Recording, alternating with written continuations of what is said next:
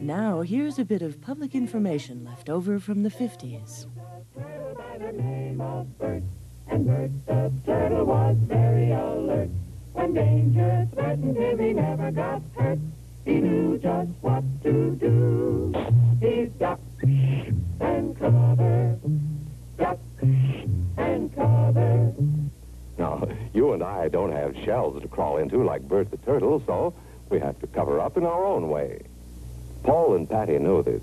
No matter where they go or what they do, they always try to remember what to do if the atom bomb explodes right then. It's a bomb. Duck and cover. We must be ready every day, all the time, to do the right thing if the atomic bomb explodes. Duck and cover. That's the first thing to do. Duck and cover. First, you duck. And then you cover. You duck and cover tight. Duck and cover under the table. It's a bomb. Duck and cover. Duck and cover. Duck and cover. Duck and cover. Duck and cover. Duck and cover. Duck and cover yourself. Duck and cover. Duck and cover. Duck and cover.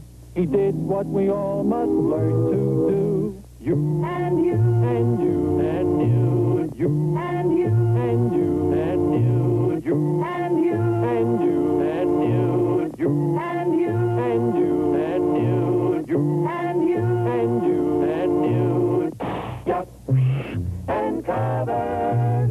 Remember what to do, friends. Now tell me right out loud. What are you supposed to do when you see the flash?